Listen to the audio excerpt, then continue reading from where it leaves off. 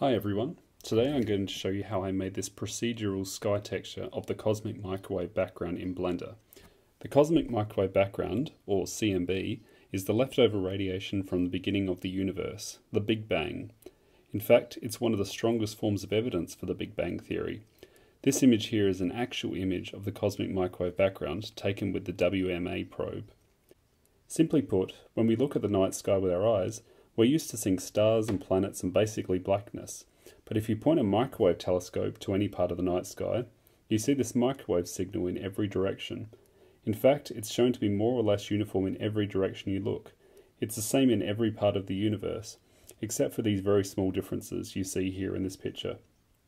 If you're a Stargate fan like me, it might interest you that this was the signal that Dr. Nicholas Rush was trying to decode to find some evidence of intelligence in the Stargate Universe series. Anyway, I thought I'd try and replicate this sky texture in Blender, so let's get started. So what we're making is the cosmic microwave background, which is essentially what the sky looks like in the microwave spectrum. So what we're going to be doing is modifying the world texture here on the right hand side. To do that, you go to the top left and select Shader Editor. And this is where we're going to be building our node structure.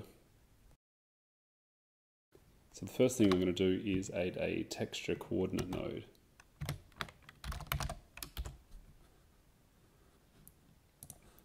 Next thing I'm going to add is a noise texture.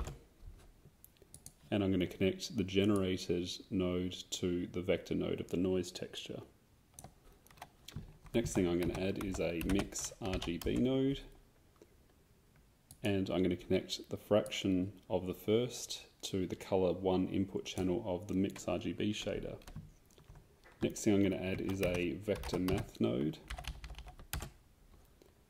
And I'm going to connect the color node of the noise texture to the first vector input and then connect the vector output to the color 2 channel of the mixed RGB node.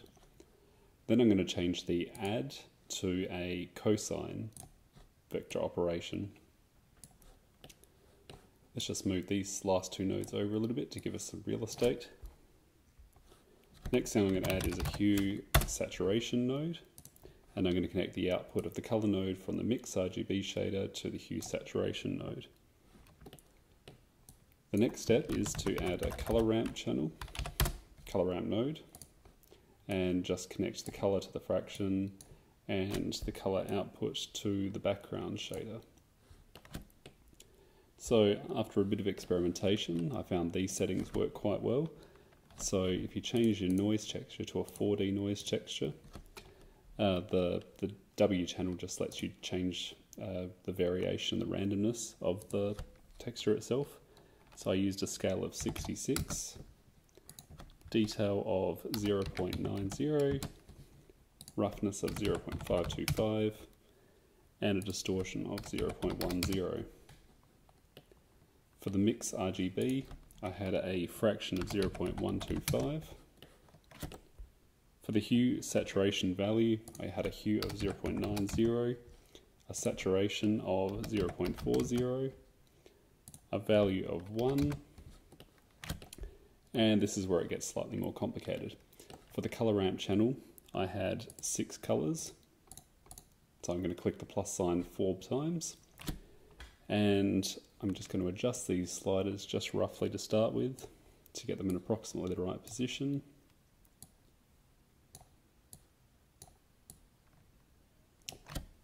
And for this one up here, I want to have a roughly a red color. Next one down, a yellow color. I'm just trying to imitate the colors of the real uh, cosmic microwave background image. The next one is a darkish green color. Next one is a dark blue. And the last two are pure black.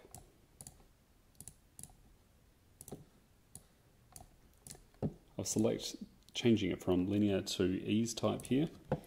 And I'm just going to give some precise values for these ones here. So for the first one here, the position is 0.35 and that one has a RGB value of 100, so pure red.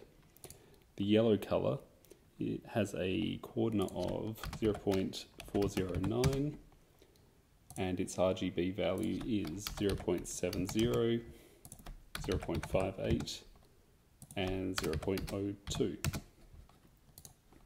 The green colour has a position of 0.50, its RGB value is 0.01, 0.29 and 0.02.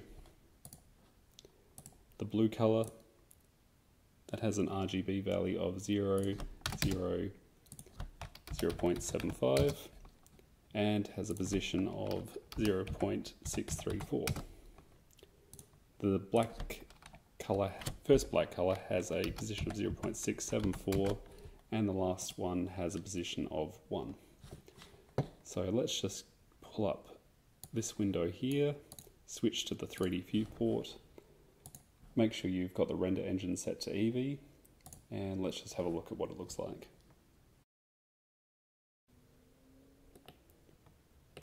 So let's just delete the default cube here. And that looks pretty good. Feel free to adjust any of these values that you like. If you want to randomize the the uh, cosmic microwave background a little bit, you can drag this W value here on the no noise texture node, and that will give you a new randomized geometry each time. If you liked this tutorial and would like to see more like it, please don't forget to subscribe to our channel.